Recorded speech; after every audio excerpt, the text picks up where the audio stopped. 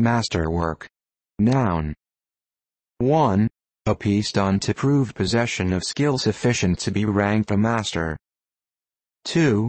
A piece of quality, indicative of having been made by a master, a masterpiece. 3. Obsolete, an act of primary importance. 4. Obsolete, a main drain or irrigation channel.